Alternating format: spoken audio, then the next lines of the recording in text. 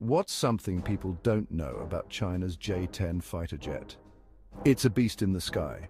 Known as the Vigorous Dragon, the J-10 is a versatile single-engine multi-role fighter jet developed by China's Chengdu Aerospace Corporation. This agile aircraft boasts advanced avionics and a powerful radar system, making it a formidable presence in the air. Originally intended for air superiority missions, the J-10 has evolved to handle ground attack roles, showcasing its adaptability. With a top speed of Mach 2.2, it can outrun many adversaries, and its impressive maneuverability is a testament to its advanced engineering. Significantly, the J-10 serves as a symbol of China's growing aerospace capabilities and military prowess.